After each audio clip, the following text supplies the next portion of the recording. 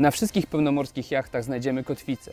Jej obsługa jest bardzo prosta. Niemniej jednak trzeba pamiętać o bardzo podstawowych rzeczach. Po pierwsze, o włączeniu kotwicy na desce rozdzielczej. Po drugie, na uruchomieniu silnika diesla. Po trzecie, musimy użyć tego pilota i musimy mieć jeszcze jedną osobę do tego, żeby tą kotwicę zrzucić.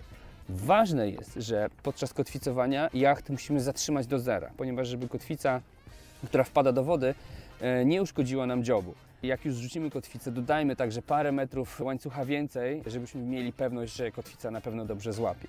W drugą stronę, jeśli będziemy tę kotwicę wyciągali, podpłyńcie jachtem troszeczkę do przodu, żeby sama wyciągarka nie ciągnęła całego jachtu i nie wyciągała także kotwicy. Róbcie to powoli i róbcie to z rozwagą, patrząc jak kotwica jest wyciągana. Kotwica ma pewne znaczniki. Co 10 metrów oznaczamy je różnymi kolorami, po to, żebyśmy mieli świadomość, ile tego łańcucha zostało wyrzucone do wody. Warto także po skończonym rejsie, czy nawet wieczorem danego dnia, kiedy już e, przypłyniemy do mariny, opłukać całą, cały luk kotwiczny razem z kotwicą słodką wodą. Zapobiega to oczywiście korozji i pozwala nam cieszyć się i używać tego urządzenia dużo, dużo dłużej.